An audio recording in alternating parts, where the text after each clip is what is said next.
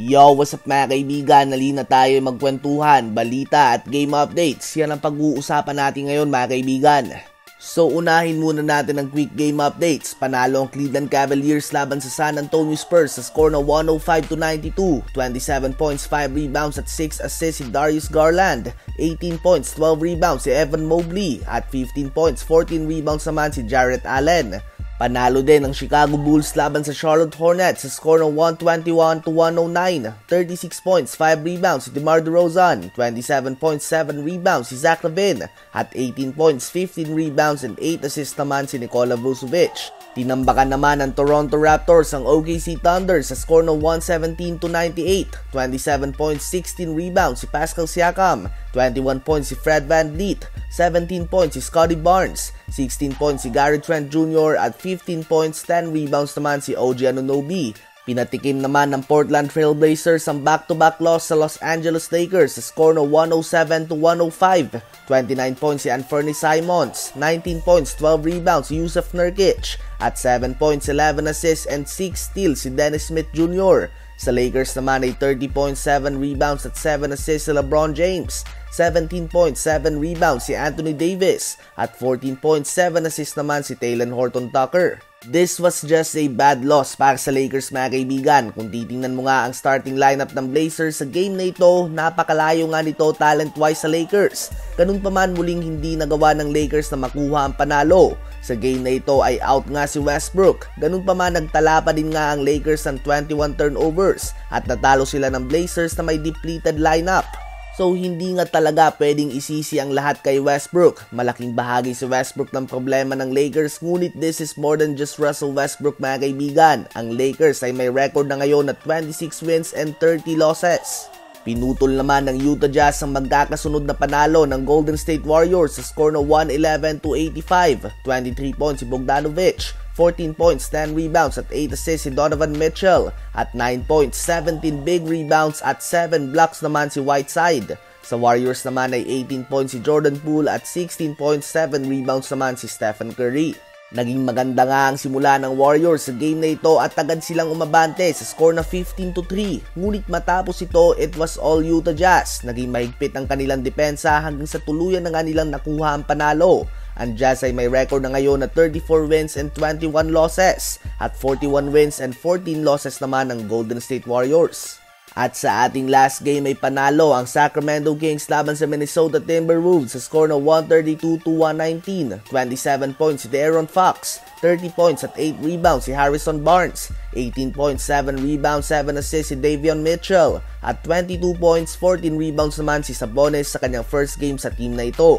Pag-usapan naman natin ngayon si James Harden. Kanina nga ay nabanggit ko sa inyo na may two very conflicting reports tungkol dito. Isa ang nagsasabi na tinutulak na ni Harden ng Nets na gumawa ng trade, habang ang balita naman na hatid ng very reliable source Woj ng ESPN, hindi umano accurate ang mga balita na patuloy ang negotiation ng Sixers at ng Brooklyn Nets. Ngunit mali ang i-trade si Simmons kay James Harden sa Nets. Yan nga ang pahayag ng sikat na analyst ng ESPN na si Stephen A. Smith ito nga daw ang pinakamalaking pagkakamali ng Sixers kung sakaling pumukol sila sa trade na ito dahil i-trade mo na nga daw ito sa kahit na anong team, wag lang sa Brooklyn Nets dahil ito nga daw ang sasagot sa mga problema ng Nets ngayon, partikular na ang depensa. At kung ito nga daw ang sasagot sa problema ng Brooklyn, magsasuffer nga sila sa mga consequences nito dahil same conference umano sila at posibleng maging malaking balakid sa kanilang daan patungo sa NBA Finals.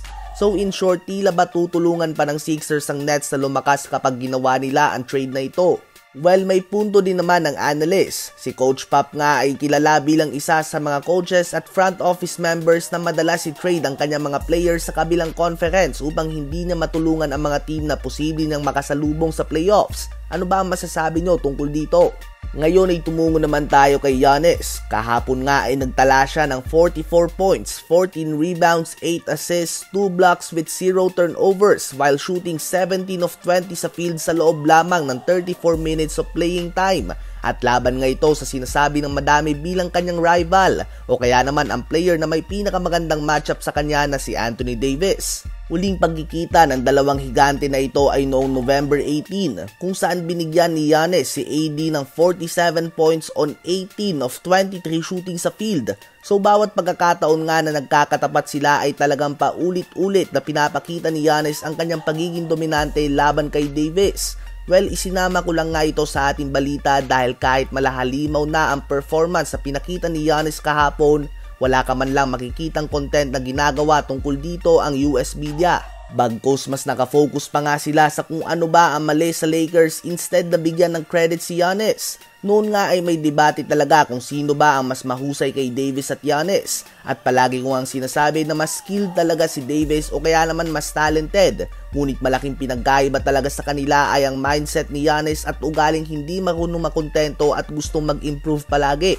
Ngunit sa ngayon nga kahit sa skill set ay unti-unti na nakakahabol si Giannis kay AD dahil sa patuloy nitong improvement. 2019 season mga kaibigan sa usapang big man ay nangunguna nga si Anthony Davis at mainit talaga ang debate tungkol dito. Ngunit sa ngayon nga ay tila ba naiiwan na si Davis kay Giannis, Joel Embiid at Nikola Jokic at malaking dahilan dito ang kanyang paulit-ulit na mga injuries. Ngunit kasama nga ito sa basketball ang pag-iensayo ng gusto na mapalakas ang iyong katawan kung irarango nyo mga kaibigan from best to worst, sino bang mauna kay Giannis, Anthony Davis, Joel Embiid at Nikola Jokic? Ngayon ay tumungo naman tayo kay Damian Lillard. So kahapon nga ay nakita natin na matapos sa matagal na pagsasama nila ng kanyang kaduo sa backcourt na si CJ McCollum. Opisyal lang natapos ito dahil na-trade na si CJ McCollum sa New Orleans Pelicans. Madaming fans ang kumakampanya na malipat si Damian Lillard ng team dahil nangihinayang nga ang madami sa kanyang umaapaw na talento. Gusto nila itong makita sa isang championship contender team. At sa ngayon nga ay hindi talaga malapit sa katotohanan na maging championship contender team ang Blazers. Trending kahapon ang trade Dillard, Dame to Lakers at iba't ibang phrases na konektado sa multiple time All-Star. Dahil tuwing healthy, isa nga siya sa best point guard sa NBA. Ngunit hanggang ngayon ay hirap nga siya makaabot kahit sa second round man lang ng playoffs. Ganun pa man ay nananatiling matigas nga si Damian Lillard sa kanyang paninindigan sa franchise ng Portland Trailblazers. Ayon kay Lillard, para sa kanya umano ang puso niya ay Portland Trailblazer. Gusto niya nga daw manalo at pinapahiwating niya talaga na gusto niyang manatili sa Blazers at manalo dito. Sinabi din ni Lillard na noon pa man daw ay napapag-usapan na nila ni McCollum na darating talaga ang oras na kakailanganin nilang maghiwalay bilang backcourt tandem. Tuwing umaalis nga ang mga star players sa isang team nang hindi ito napapakampyon, kadalasan ay nagagalit ang kanilang mga fans, katulad kay KD sa OKC at kay LeBron sa Cavs noon.